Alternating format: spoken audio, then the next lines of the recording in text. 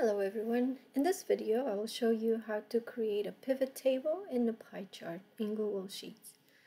In this data file, I have a list of students along with their gender identification and their scores on a couple of tests. Uh, but this file is quite large. I think I have about 249 students in this file. So just by browsing through the file, it's going to be hard to summarize the gender distribution of the sample. So um, pivot tables can help us summarize the data uh, very easily. So I am going to create a pivot table to summarize the gender information and some of the test information for these students. So to do that, I'm just going to select my entire data range, so all of these columns that have data in them and I am going to the insert menu and then select pivot table. Then notice that Google Sheets already established the data range that you want to use because um, we selected it. And then it asks whether you want to use a new sheet or create a pivot table on the same sheet that you're working on. I always recommend doing all the summary information in a new sheet. So let's create a new sheet for this. And notice that I have a new tab here and a table that is empty now. It's just a template for the table that I want to create. So on the right side, I have a window that says Pivot Table Editor.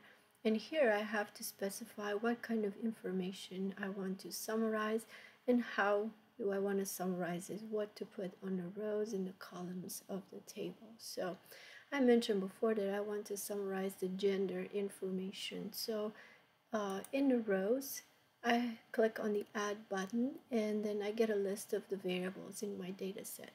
From these variables, I'm going to select gender.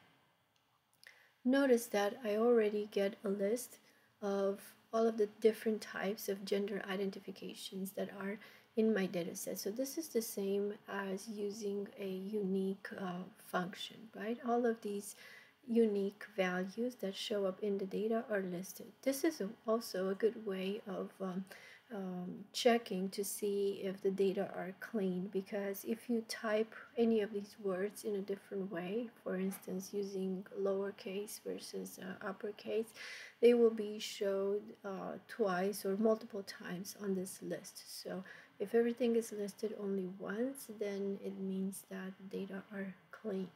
So I get a list of the unique or different types of gender identifications that um, occur in the data file. Now, for each one of these categories, I want to determine the number of individuals that um, that endorse this identification. So to do that, I go to the values button and click add. And then again, I'm going to select gender and notice that automatically uh, Google Sheets use the count A function to count all of the individuals who or the number of times that each one of these gender identifications occurred in the data. Remember that count A functions is used for counting values of different types, both uh, numeric or string uh, variables. So um, just by default, it used the COUNTA uh, in the header of this column uh, just to show what kind of function was used. But you can edit this um, and change it and say uh, for instance we can just say n right from the number of individuals included in each category. Now notice that there is a blank category at the very beginning of the table with the number 0 this may occur if you have any missing data.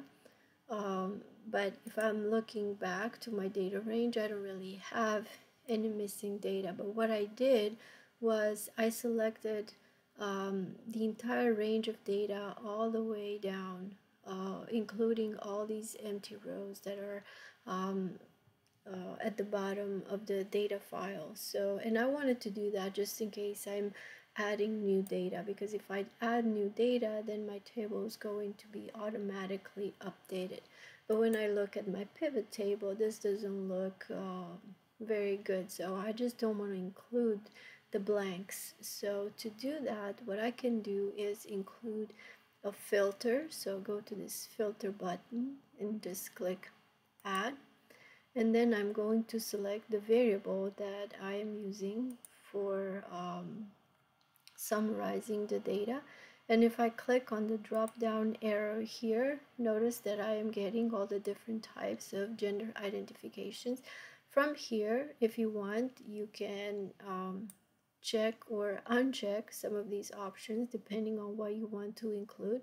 In my case, I want to include everything, all the different types of gender identification except for the blank spaces, right? And I'm leaving everything in here.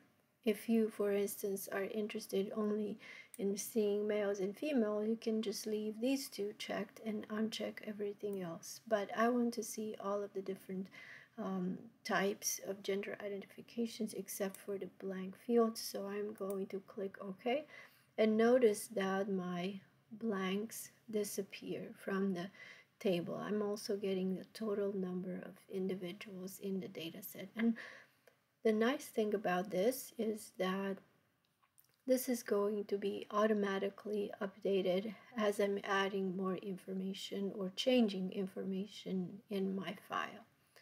Um, I can also include some other information in my table. Let's see, maybe I have some uh, test score information in this file, so maybe I can include some of the um, test scores or summarize some of the test scores by gender um, so to do that, all I have to do is go to the values field and add another variable. And from here, you can select either test 1 or test 2. I've already used gender. Let's select test 2. And notice that by default, Google Sheets used a sum of test 2 by gender, which doesn't make much sense. So let's change the function from here and select an average instead of the sum. So now I have the average test score on test 2 by gender. Of course, this is going to look a bit cleaner if I am reducing the number of decimals. So I'm going to select this column and then use this button to reduce the number of decimals. And again, I can change the name of this column if I want to by um, let's just say I want to make it clean and not use uppercase so um, average of test 2 one other thing that you can do once you have your table is to create a chart. And let's say I want to create a chart that shows the gender distribution of my sample. So I am going to select the information that I want to include. So the number included in each subcategory, except for the total, of course. And I'm going to go to insert and then chart. Notice that um, Google Sheets automatically created a bar chart um, typically for um, information that or when we have subcategories that add up to 100% a better choice would be a pie chart. So what I can do is go to the chart editor that is open on your right side and change the type of chart that I want to use and I'm going to select a pie chart of course there are different types of pie charts that you can choose from but this one is is very good. It also gives me the percentages, so this will do. Okay, if I want to make any additional changes to my pivot table, all I have to do is hover over the table and notice this edit button. So if I click on this button, I am getting the pivot table editor here. Let's demonstrate how to include another filter. Right now, I simply excluded the blank values using filters, but you can use filters related to other variables, not just the variable that you are classifying. So I'm going to click on the add button and let's say I want to look, create a filter based on test 2. And uh, when, when you create filters, you have different options. You can actually select the values that you want to include, just like we did before, or you can create a condition, filter by condition, or a rule by which um, observations are selected. And right now there is no rule, but um, let's create one. So let's say that we just want to include test scores um, that are above 60 so let's see greater greater or equal to and then type the value 60 here and then click OK.